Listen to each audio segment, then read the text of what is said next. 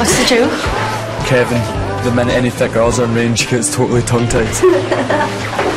Never shuts up when he's around me. When I met you, I didn't really like you. First impression was you were somebody who'd walk right by and wave at you and say hi. But they say bad beginnings make happy endings. Now that I know you, I begin to understand things. It's turned around 180 degrees.